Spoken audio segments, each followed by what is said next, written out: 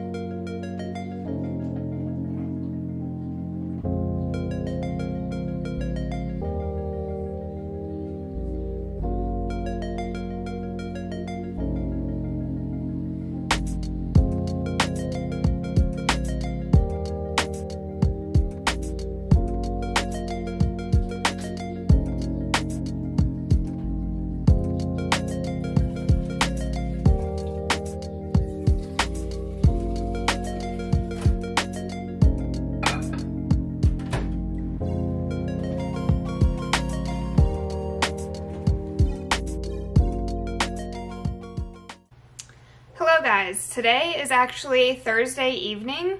I think I last talked to you around sometime Tuesday afternoon or evening while I was cooking dinner. Unfortunately, not from my own cooking. I got food poisoning Tuesday night from an orange that had gone bad that was sitting, I guess, in direct sunlight. And when I ate it, it didn't smell or taste funky, but I did some research online and essentially I got food poisoning from an orange that I ate. I quite literally thought that I was going to die Tuesday night. The pain was so horrendous. I had never experienced food poisoning like that ever before. Yesterday I was still feeling pretty sick, but I did go to work. I didn't work out in the morning because I had food poisoning the night before and I was I took it as a rest day because I was feeling so terrible, but I went to work. I ended up leaving work early around 2.30 yesterday because I was running a fever and still feeling incredibly sick. So last night, um, or yesterday, I came home early from work and then I didn't end up eating really anything for dinner because I was still feeling really sick. I did get some Sprite Zeros and I drank one of those to help calm my stomach and it did help. And then I ate just some of the Siete like sea salt tortilla chips. I just had a handful for kind of like some crackers when you're sick. I was needing something that was kind of like salty and crackerish, so I ate a couple of those and then I went to bed pretty early. And now we are here today, Thursday. I did work out this morning as you saw. It was one of my favorite back and biceps. I love training upper body, especially my shoulders, biceps, and back. I wanted this week to be a week of workouts and what I eat, but Food poisoning, I couldn't predict that one. It wasn't in the cards for this week, but that's just how life is. We have to take it and roll with it. I am feeling a hundred times better today than I was even yesterday. So I have a lot more energy. And tonight for dinner, we're actually going to be making ground turkey tacos. I made these tacos last week. Very, very simple and easy. I just combined some chopped bell peppers and ground turkey on the stove top in a skillet, mix it all up and cook it together, and then throw it in some Siete tortilla shells. And the guacamole is really the star of the show. I have orange, one orange and one red bell pepper here, just sauteing in the pan with some salt, olive oil, and pepper. Just like a little bit, it really doesn't even need seasoning at all. And I'm kind of just cooking this on medium heat until the bell peppers are softened. And once the bell peppers are softened, I'm going to go ahead and add in my ground turkey. I just have the, I believe it was 93% lean, 7% fat. That's just personally the ratio that I like best. Um, and I'm just going to combine it in with the bell peppers once those are softened and done cooking. And for the taco shelves, like I mentioned, I use the Siete brand, and this is just what they look like. They are grain-free taco shells with avocado oil. We tried these for the first time last week and I actually prefer them over regular like corn taco shells because they did not fall apart at all. You just heat these up in the oven, just follow the instructions on the back for a couple minutes and not one of the tacos cracked. Like they stayed together the entire time you were eating them, so that was pretty amazing. These are the chips I was talking about that I munched on last night, um, kind of as like a cracker. Uh, but I'm going to have these with some guacamole tonight. I've actually found a guacamole recipe that is my absolute favorite. It is from Half Baked Harvest, and she actually calls it her Green Goddess avocado sauce or something like that. I can leave it linked down below, but I don't know if you would call this a necessity. For me, it is definitely worth the money that I spent because I've used it so much. I have this Ninja, I think it's called the Express Chopper. I bought this for $20 and it's pretty large. I was surprised it was only $20, especially being Ninja.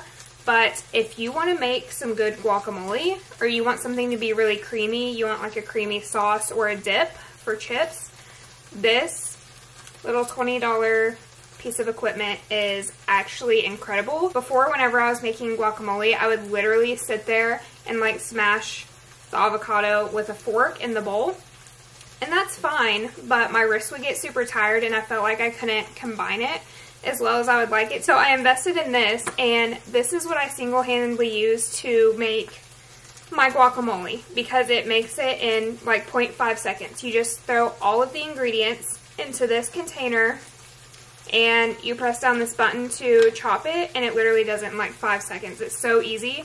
I would highly recommend purchasing this if you're in need of a good chopper or want something easy to make your guacamole because it was only $20, which I feel like is a good deal.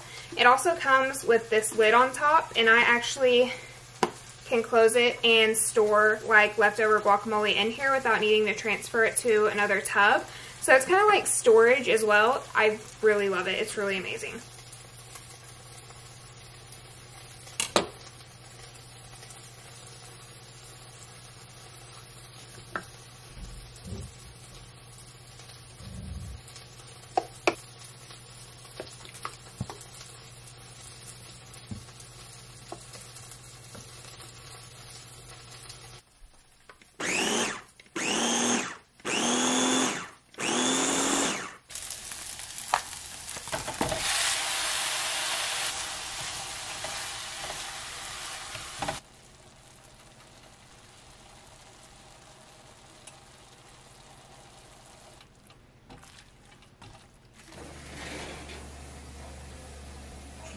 even with all those photos, I still loved her.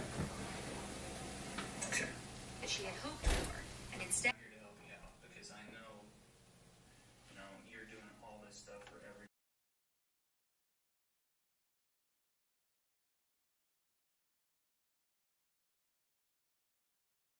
Here are the finished tacos. They might not look the prettiest, but they do taste really, really good. And I'm just going to have some of the Siete chips with guacamole on the side. But this is what we're going to be having for dinner tonight. It is super filling and very healthy. It's a nice, healthy Whole 30 take on just regular tacos.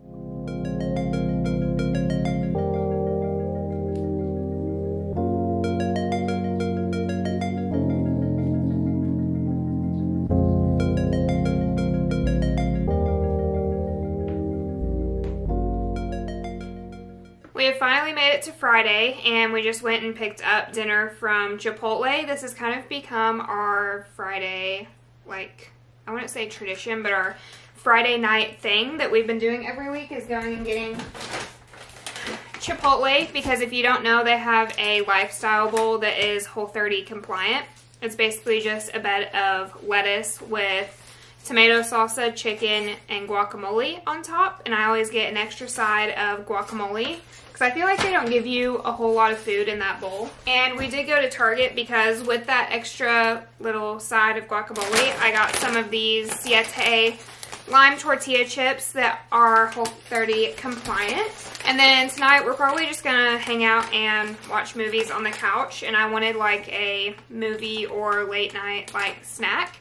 And so I got these Whole 30 compliant um, sea salt and vinegar potato chips from the Siete brand. We also tried the Chipotle barbecue. We already opened the bag and these are really, really good. I hadn't had these before, but we tried them tonight and I do like them. But you did see that I did a leg workout this morning. So in total, Monday through Friday, I've done four workouts this week and cook dinner four nights this week. So that's going to be it for this video. I hope that you all enjoyed seeing what a week of workouts and a week of dinner recipes looks like. And I will just see you in the next one. Bye guys.